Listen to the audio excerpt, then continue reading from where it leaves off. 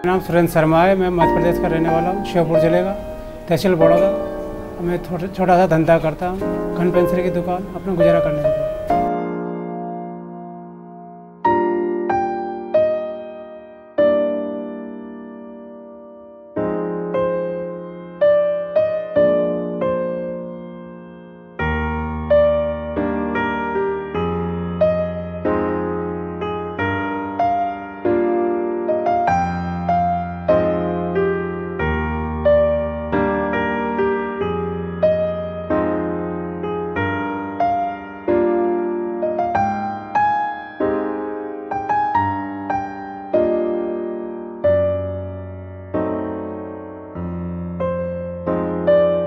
और को एडवाइस दिया है, कहीं इसके स्पेशलिस्ट को दिखा करके इसका इन्वेस्टिगेशन करें, उसके बाद ही इसका इलाज होगा। खाली नाड़ी पकड़ कर देखने वाली बीमारी नहीं है।